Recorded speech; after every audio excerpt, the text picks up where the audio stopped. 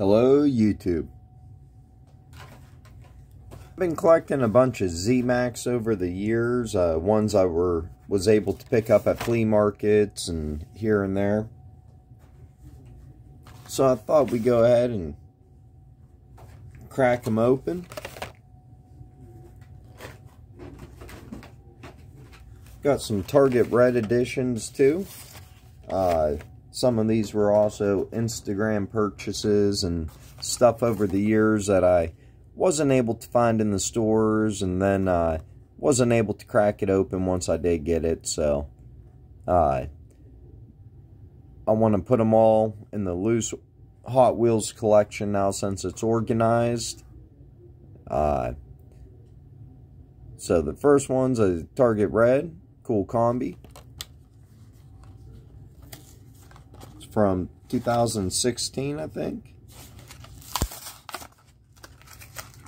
This one instantly was going for uh, pretty decent money on eBay and Instagram. I was only able to get one of them. I'm on the hunt for the Hello Kitty Kool Kombi. I like to collect the Kool Kombi, but for some reason it seems like a really hard casting for me to get. I like, there's only one variation, I think the Magnus Walker one. That's the only one I ever found in the stores, I think. Then we got new for 2013, 68 Shelby GT500.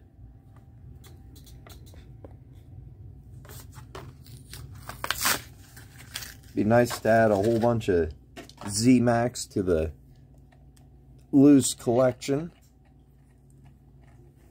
Something I never, ever find in the stores. Uh, two out of the three Walmarts that I have that I could possibly drive to, uh, two of them I have never ever seen a Z-Mac at. The other one, I think I have only once.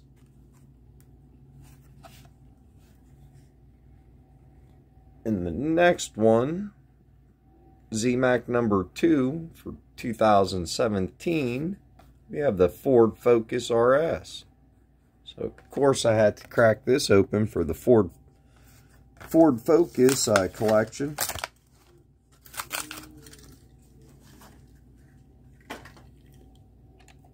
Of course, all the ZMAX are raw metal they still put the decals on. The next one's a casting I do collect. Usually if I go out of my way to pick up a Z-Mac, it's because it's a casting I do collect, like the 67 Chevy C10 from Hot Trucks. It's from 2016.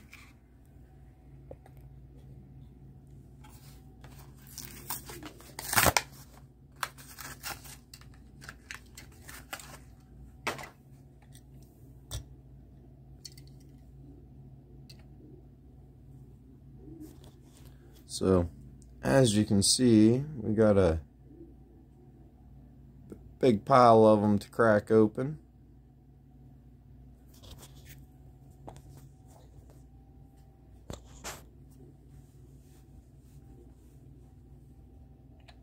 Could have went without the red windshield on this one. Like the red stripe on the tires though. Next one, ZMAC from number two again, from 2018 instead of 2017. So 2018 was your Hot Wheels 50th anniversary. And we got the 55 Corvette.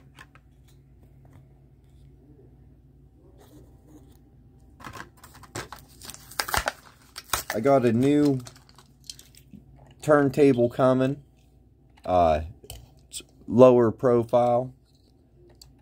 I could not find the, uh, I think it was Tarmac Works or INNO64 was coming out with like an RWB one or something, or a Liberty Walk one. I don't know. I saw it on Lamley once, and I saw it on a couple others. Uh, people have it, but I've searched the internet, I've searched eBay, I've searched everything, and have not been able to find that turntable. So, got one very similar to it coming. Next one's another Target Red, which is a casting I do collect, the 68 Chevy Nova. And I think the red windshields are going to be pretty common on the red editions, probably. Got 350 on the back. Once in a great, great while, I might find a Target Red. Might get lucky and find one. Not very often. Never find the casting I'm looking for, but... Like, there's a is it the Volkswagen pickup? That was a red edition I need. I can't can't find it. Uh, never come across it. Oh, there's a couple others that I've been on the hunt for for like years. Uh, is there a 55 gasser? I don't think I have. But I did go out of my way to purchase this little red express 1978 Dodge Little Red Express, which should only come out in red. I think Dodge only released the Little Red Express in red. I think they did release it in other colors, but they uh, called it something else. They only called it the Little Red Express in red. And I actually knew somebody uh, had one of these restored, and they used it to pull around their uh, old Dodge Hemi on a trailer. So I thought it was really cool. I'm like, uh, if you're going to tow a vehicle to a car show, what better to tow it on than an old classic that's all restored itself? But this looks pretty good in the satin white with the red stripes.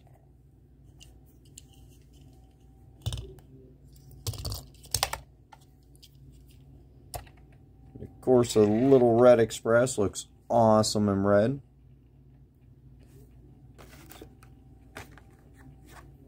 Next one, can't believe I didn't have this cracked open, a 67 Pontiac GTO. I looked all through my GTO collection and I could not find this one, so we're going to crack it open.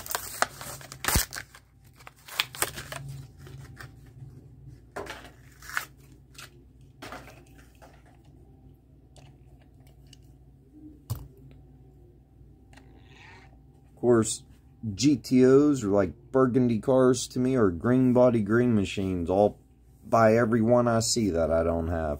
So, always happy to add a GTO to the GTO collection. Next, we have a, uh, an older blue card. don't say ZMAC on it, but man, it no, it's painted. It looks but we got a 59 Chevy.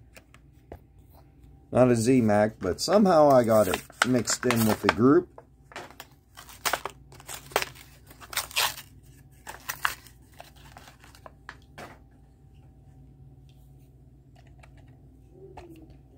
And it's definitely not a Z-Mac. It's definitely painted.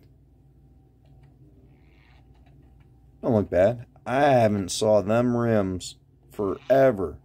It's even been a long time since I cracked something open with them rims on it. To me, that's a kind of iconic rim for me for Hot Wheels. I think they used it quite a bit on older castings or something similar to it. I don't know why that rim really stands out to me. You can't even see the back ones. Next, we have a 67 Ford Mustang Coupe Z-Mac from 2014. And it was number 9.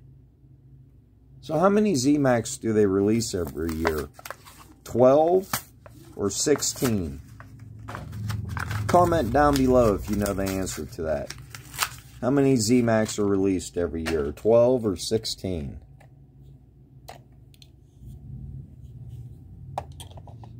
And don't forget to subscribe to the channel. I got tons of cars to crack open. Uh, those are all the ones that I did not have that I already went through my Hot Wheels collection and confirmed I do not have none of these, so all of them will be cracked open. Right after we get through all these ZMAX here. So, actually looks pretty good in the metal with the uh, metal finish with the red stripes. I like that Mustang. Next one's a casting I do collect from Hot Wheels is a 76 Greenwood Corvette. Absolutely love the Greenwood Corvette. Uh, it's based on a real car, a real race car from the 70s. And uh, if you never heard of it or nothing, look it up. It's a really awesome race car. They really did widen it and uh, did really good on the track, but it looked really freaking awesome too.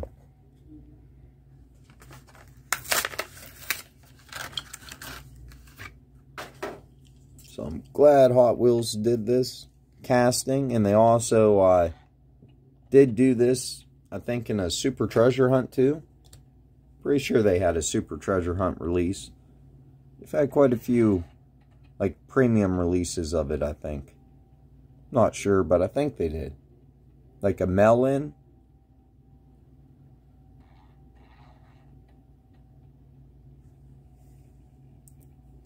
Next one was really hard for me to get, but one I had to have when it came out. So I went out of my way to get it. It's a Datsun 620. And probably cost me 10, 15, or no, probably cost at least 15 or 20 bucks, I bet. I almost remember getting it off of Instagram. Just like this one cost me like 15, 20 bucks off Instagram when it came out. And you could still find it in the stores. Look, it even has a set of moon eyes on it. You just got to throw the moon eyes in there for the moon eyes collectors, I guess.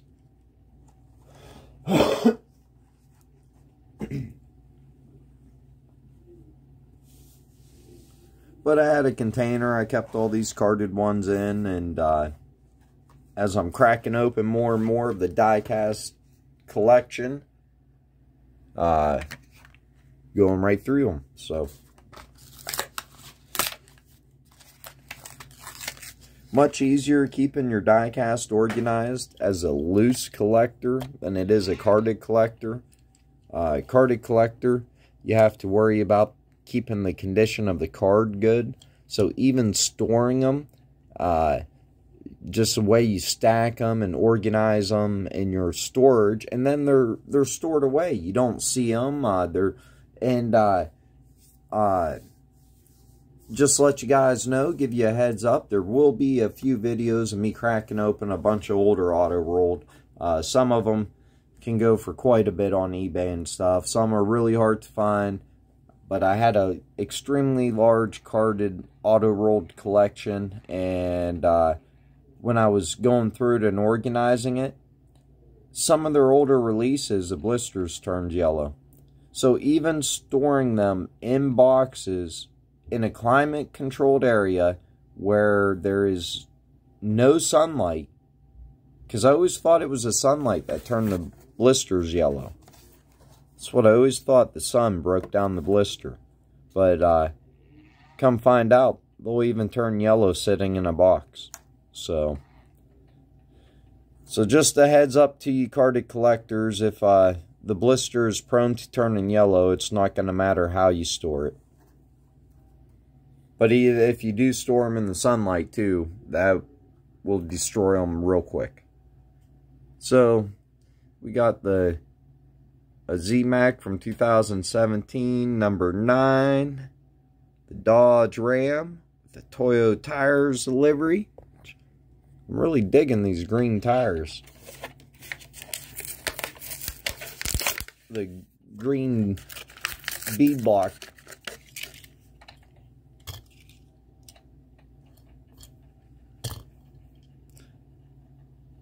think this, the Datsun 620 weighs more than this. Pretty light casting. I don't know what they do to lighten up their metal sometimes. And we got a tampo error that you would have never seen because that side's against the card.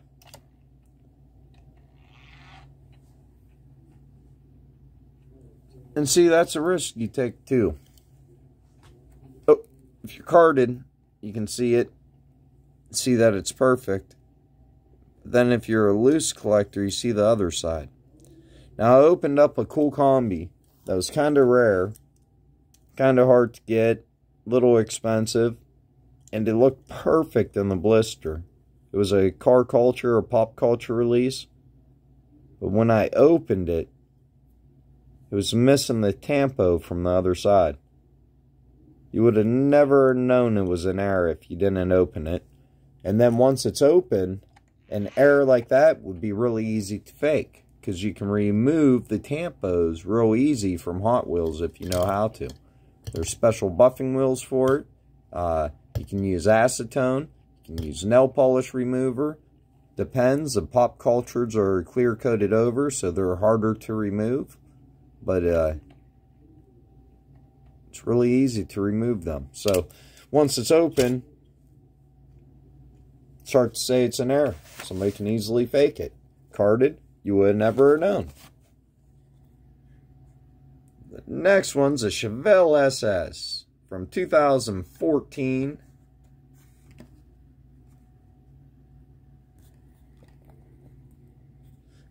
Probably be a heck of a lot cheaper and easier to go after all the Z-Max ever released and all the Supers. And that'd probably be a kind of, I think it'd be a pretty neat collection to have all the Z-Max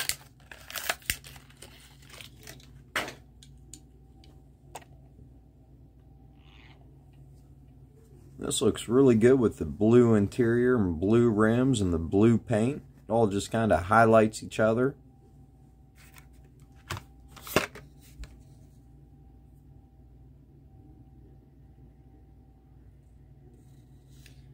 And the next one, we have a 67 Camaro.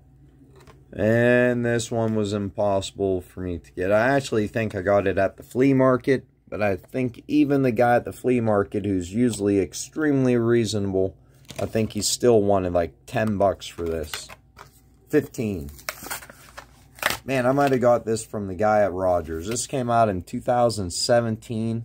This was a super that I, me and my buddy, we drove when the cases were hitting. Uh, you could use, uh, uh, there was a website that would tell you when the cases were hitting, what stores and uh, we drove from where I live.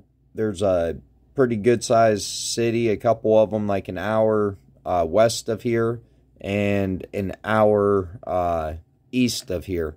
And we drove both directions multiple times, hitting up everything we could looking for that super. Never did find it. We never found these Z-Max when they came out either. Uh, we went to the flea market. He bought one of these. I think uh, he paid 20 bucks for it because he had to have it. And uh, I passed up on it at that time for 20 bucks. But I think I ended up breaking down and paying like 15 bucks for it at the flea market from the same guy. A different time when I went. So, never looked on eBay for this. Don't know what it goes for, but I can imagine this probably goes for quite a bit, just like the Bugatti or any of them. Sometimes they can average $20, $25. Next, and the last one we have is a custom Ford Bronco. I guess this is a casting I collect. Didn't realize it until I seen how many of them I had. And uh, Hot Wheels and Matchbox. Matchbox makes one extremely similar. It's identical, actually, besides it doesn't have the lights on the top. That's the only difference with the Matchbox. Besides that, it's identical. So between the Matchbox and this, which the Matchbox I get a lot of times in five packs when I pick them up for other castings. And I think that's how I ended up with some of the Hot Wheels. And, of course, it came out in series that I collected too, so... So that's all I got to show you today. Whole bunch of Z-Max. And some Target Reds. Happy to finally have that Kool Kombi cracked open. And that Camaro. I've had that Camaro for so long. Wanting to open it. Three, three, four years now I've had it. But the hunt for it took forever. Probably took a year.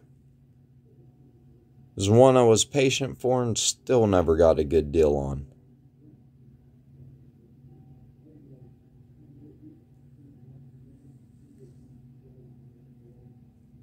Wish I could pick up more of these Z-Max and Target Reds. Uh, I've never got like a Walgreens exclusive. I don't have any Kroger, so I've never got any Kroger exclusives. There's actually a couple Kroger exclusives I would absolutely love to have, but they're extremely hard to find, and uh, they're even hard to find on eBay. So, when you do, they tend to go for a ton. I think there's a Batmobile Kroger's special edition I want that goes for a ton on eBay. So, Make sure you like, subscribe, and uh, have a good day.